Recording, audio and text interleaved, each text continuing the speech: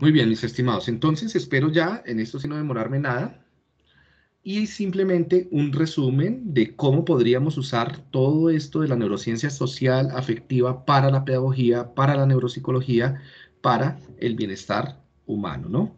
Lo primero es que yo creo que esto definitivamente eh, va a un nivel más profundo y tiene que llevarnos a replantearnos el qué es educar, para qué se educa, cómo se educa, ¿sí? Tal vez eh, replantear este tipo de cosas. Sabemos que una educación basada en aprender conceptos, que es gran parte, yo creo que el 70% de la educación es aprender conceptos, memoria semántica, eh, eh, vemos, esto no es útil y todos ustedes lo saben, los conceptos se van deteriorando y perdiendo muy rápidamente si no se usan, y entonces vemos que el aprendizaje de nombres y conceptos cae enormemente a través del tiempo. A los tres meses, el 80, ya tenemos un rendimiento de menos del 60%, a los cuatro años de menos del 40%, de los 10 años no saben, ya se nos olvidó la mayoría de las cosas que vimos en el colegio. ¿sí?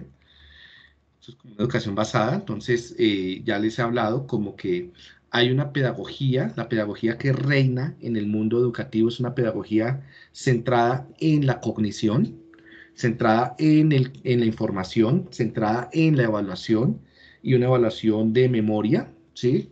Donde se concibe que eh, el, se ha separado el cuerpo de la mente y se considere que el conocimiento está dentro de la cabeza y que lo que hacen los profesores o el colegio es meterle saberes a los, a los niños dentro de la cabeza y por lo tanto la evaluación va a ser simplemente pruebas para sacar esa información de la cabeza, ¿cierto?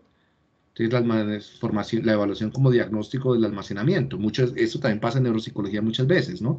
No ve los neuropsicólogos como más interesados en rajar a los pacientes que, que en conocerlos. Un olvido enorme, enorme de la emocionalidad, de las relaciones sociales, del cuerpo, del contexto y de la salud. O sea, como que no nos importa, no, no pensamos que, todo, que cada acción que hacemos eh, puede generar un problema de salud en las personas que desarrollamos y que tampoco tenemos como la, la, la, la, estructura para tener un, para propiciar un desarrollo saludable. ¿sí? Bueno, ¿cómo podemos entonces ir hacia una pedagogía mucho más sana, mucho más saludable, de bienestar? Primero, diseñando ambientes de aprendizaje saludables, reestructurando las tareas, ¿sí? ¿Qué tipo de tareas se necesitan para que no generen estrés crónico? ¿sí? Pensar en el horario, en qué tanto movimiento se está restringiendo, las demandas, la duración, teniendo en cuenta el aprendiz, el ambiente físico en términos de lo que hemos visto, iluminación, temperatura, ¿sí? ruido y demás, el contexto social. Entonces, esto debería permitirnos desarrollar aulas para el bienestar y didácticas o tareas para el bienestar replantear la educación, la evaluación, digo, qué, pena, gran parte de una evaluación, eh, muchas veces la evaluación es sobrecarga el sistema de eh, noradrenérgico, dopaminérgico de la TPN, por eso tenemos un exceso de diagnóstico de, déficit de atención e hiperactividad. No todo el mundo es bueno para, para activar este sistema de memoria de trabajo, ¿sí? Y tal vez deberíamos pensar en evaluaciones más dirigidas a, a activar el sistema de memoria de trabajo social. ¿por qué no evaluaciones tutoriadas, o sea, en forma de tutoría? Enséñale al otro. Y eso puede tener puntos de evaluación, pero es que estamos muy centrados sobre la prueba, sobre el quiz, sobre, ¿sí? el, examen. ¿Para qué evaluamos? ¿Cómo estamos evaluando? ¿Sí?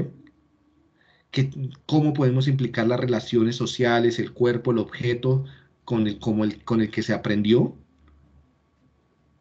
Muchas veces lo que hacemos con la evaluación es incentivar la copia, o sea, nos detestamos la copia, pero seguimos haciendo las mismas evaluaciones, pues cambiemos evaluaciones y ahora que no, no hay ganas de copiarse, ¿para qué copiarse en una interacción social?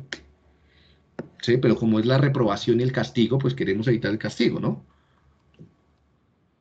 Replantearnos los tiempos de la educación, la hora de entrada, en qué momento dictamos cada clase, en qué momentos es más apropiado dictar matemáticas, ciencias sociales. Yo, les hice varias respuestas en, en las preguntas que me preguntan sobre eso. ¿Sí? Hacer una cronopedagogía. Y bueno, y en últimas, eh, esto nos debería llevar a replantearnos como este es el modelo que yo les propongo. Entonces, una pedagogía cognitivista versus una socioafectiva para el bienestar, que es el conocimiento como interno ¿sí? Acá hay información, acá cómo saber hacer en contexto.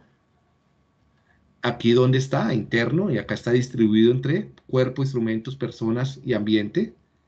¿Qué hace el aprendiz? Acá es un recipiente pasivo, acá es mucho más activo. ¿Qué hace el tutor, el, profesor? Acá es un emisor que tiene el conocimiento. Acá es un mediador socioafectivo del desarrollo con bienestar. El contexto como algo de lo cual eh, está atravesado completamente en los saberes, en los valores culturales. ¿Para qué sería la enseñanza? Aquí simplemente transmisión de información, acá un poco más como hacer en conjunto para el bienestar mutuo. ¿Y para qué educar? ¿Cuál sería el objetivo de la educación? Sí, simplemente una propuesta, un modelo que puede ser pues, abordado con, con algún, eh, retomar algunos aspectos que, que, puedan llegar a ser útiles. ¿Listo? Eh, algunos desafíos, bueno, que se presentan hacia futuro, ¿sí? Y sugerencias, como recordar siempre que todo conocimiento, acción, evaluación está embebido en una relación social y afectiva, ¿sí? Tratar de facilitar a los estudiantes o aprendices que desarrollen gestión de control, percepción del control, antes de llevar al estrés. Tener en cuenta la variabilidad, que todos somos diferentes, tanto cognitiva como emocionalmente. Tratar de brindar espacios de seguridad, flexibilizar las formas de, evaluar, aprender enseñando y pensar cada contenido, tarea, dinámica, didáctica en términos de para qué, qué procesos, cómo se están desarrollando y cuál es el balance entre estrés y bienestar al que someto. ¿Listo? Bueno, acá como algunas conclusiones que pueden, les dejo para que los que la quieran leer, que ya estoy agotado.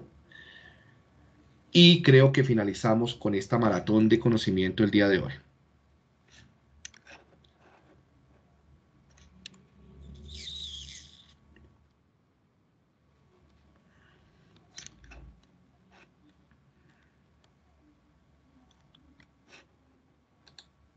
Bueno, muchas, gracias.